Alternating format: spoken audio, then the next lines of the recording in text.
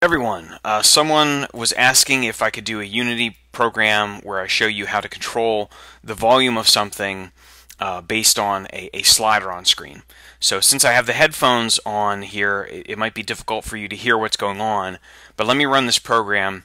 Uh, a little slider will pop up and then I'll just drag it up and down and then as I drag it up you'll hear the music and as I drag it down the music will fade out.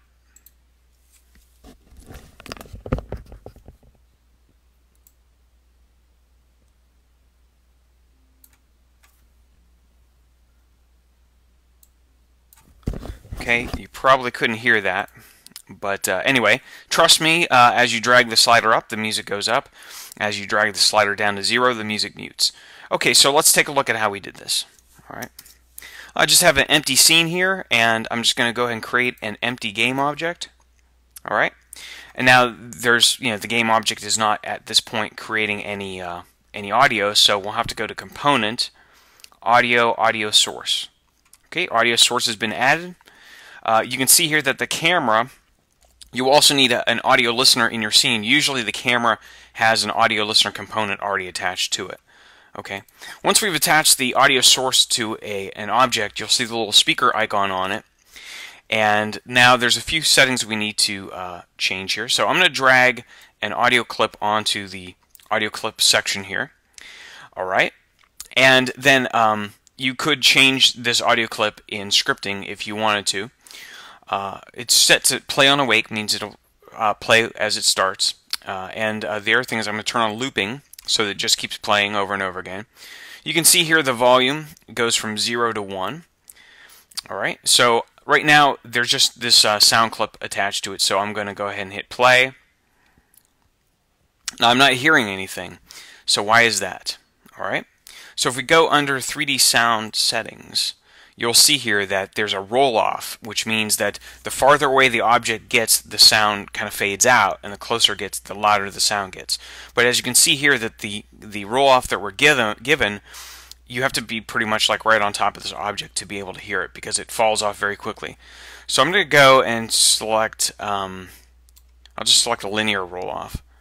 Okay, so now you have to be a little bit, you know, closer than um, you know, basic basically um, it, just falls off at a much more reasonable rate. So I'm going to play this, and I can hear the audio fine. Okay. If you didn't want any roll off at all, you could just delete one of these keyframes, and then you would basically, no matter how far away the object was, it would always play at the same rate. Okay, so that uh, sets up our little um, audio player there. So now let's uh, drop on the script that controls the slider. Okay, so I'm just going to drag the script on here. And let's take a look at the script. It's very simple. So, um, actually, I don't even need this. Okay. All we need is just a few lines of code here. So we have a variable called HSliderValue, which is the, uh, the value we're going to get back from the slider. And then we have this line of code here, which creates the slider.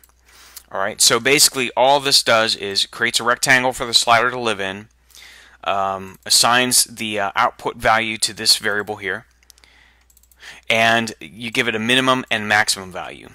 So if you want the slider to go from 0 to 100, for example, you would just change this to 100. In this case, uh, this is perfect for us, a value of 0 to 1, because the volume component, or audio uh, source component, has a volume setting that goes from 0 to 1.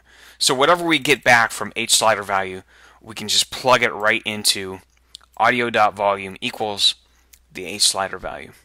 I also create this little um, uh, label here where I can just kind of monitor the value of that um, uh, slider.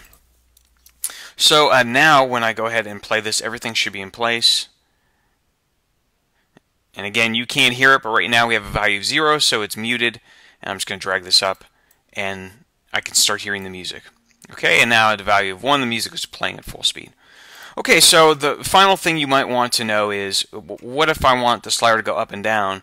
We'll just go into the, the scripting reference, and then under GUI there's another one called vertical slider, which has the exact same usage. It's just that you would take this rectangle and you would just create it uh, more kind of, you know, the rectangle dimensions would be more vertical than horizontal, and you would just use GUI.vertical slider instead of horizontal slider. So uh, I hope that helps you out.